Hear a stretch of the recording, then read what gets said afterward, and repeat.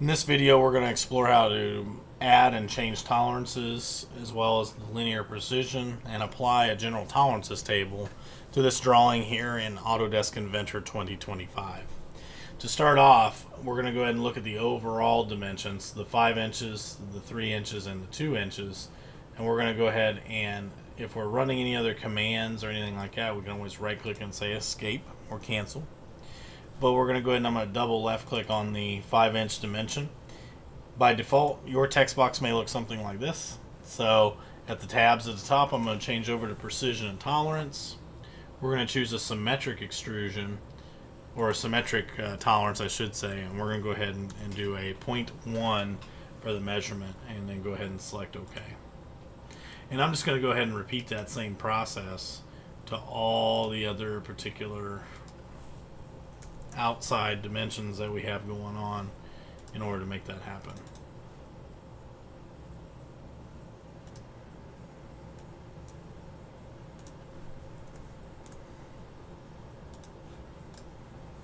Alright, next uh, tolerance we're going to add is going to be the 1 inch measurement from the front edge to the center of the block, which is where most of our hole centers are going to be lining up along.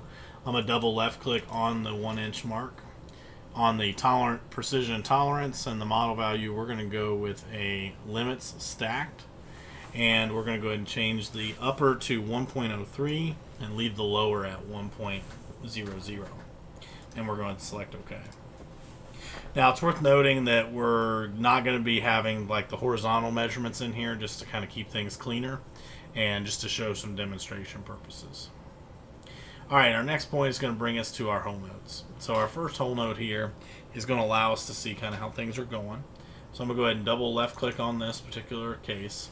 Notice how on a hole note the format's just a little bit different and the menu doesn't show up quite as clean as what it does for a regular dimension. But what we can do is we can click on this pencil called Precision and Tolerance.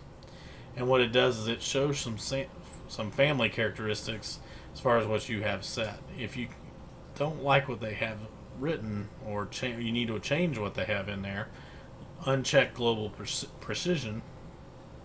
And here you can also change some of the things like what primary um, number of significant figures that you have for each measurement or anything like that.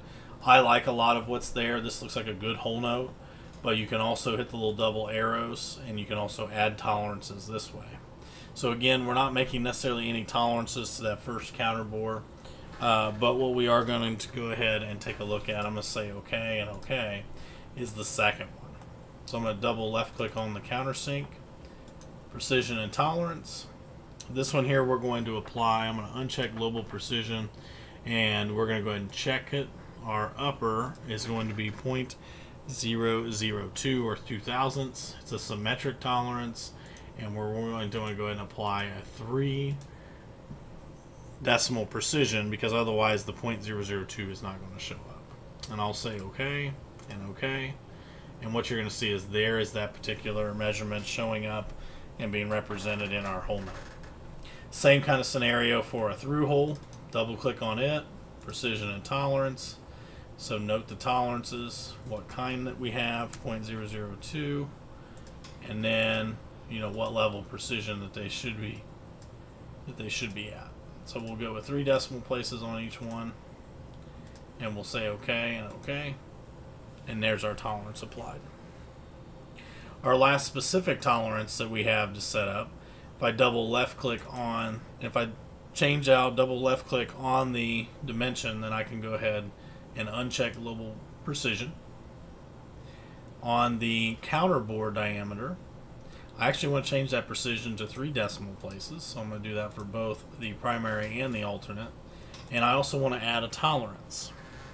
So, and that tolerance will be a deviation. We're going to go 0.003 and 0.000. And again, we want to make sure to change that level of tolerance to show as well. Say OK, say OK, and now we can see that tolerance being applied to that specific dimension. My last